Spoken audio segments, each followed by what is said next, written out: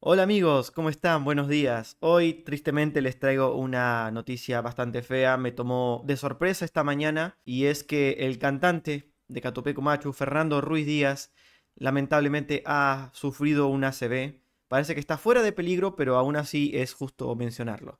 Vamos a leer entonces el comunicado que la página oficial de Catupeco puso en sus redes sociales. Comunicado.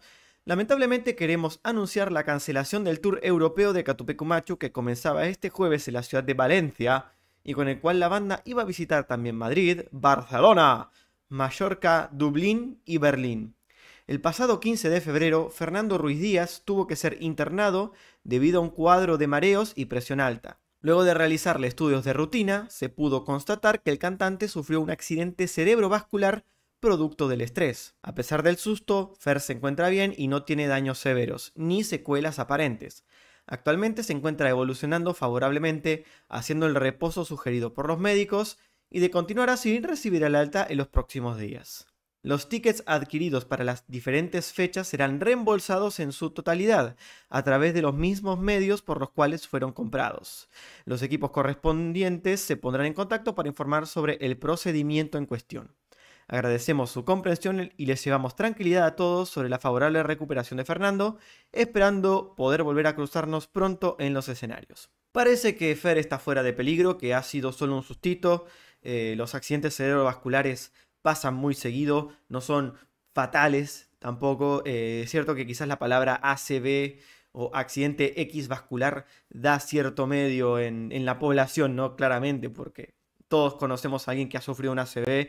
Yo conozco a una persona, ¿no? Que sufrió un ACV hace muchos años y la mitad del cuerpo le quedó prácticamente inutilizada. Conozco también gente que sufrió ACV y no pasó nada. Bueno, bueno, también hay gente que ha fallecido producto de un ACV. También conozco casos así. Pero parece que Fer, que es un hombre joven, tiene 55 años, si no me equivoco, eh, está fuera de peligro, está todo bien, mucho estrés, es un tipo que lo da todo en los escenarios, Asumo de que el trajín de la vida de músico le ha pasado factura después de tantos años de estar frente, frente al público, ¿no? Porque desde los años 90 que sin parar ha tocado prácticamente todos los fines de semana. Es un chabón que le encanta tocar y que está siempre en la cresta de la ola y tocando en todos lados, en todo tipo de lugares. Pero bueno, ahora ya está en reposo, Fer. Es que encima es un tipo tan potente, tan emotivo y tan tan, sacado, si se quiere. Eh, parece que está fuera de peligro, nomás tiene que calmarse, recuperarse y quizás tomarse las cosas con un poquito más de calma. Pero tristemente el estrés es algo que nos afecta a todos en esta vida tan acelerada que estamos viviendo en el siglo XXI. Así que si algo podemos sacar de esto, aparte de la salud de Fer, para los fans de Catupeco y todo, es para el público general, no. Revísense siempre, por supuesto. Tengan presente que le puede pasar a cualquiera este tipo de cosas. Nadie está inmune.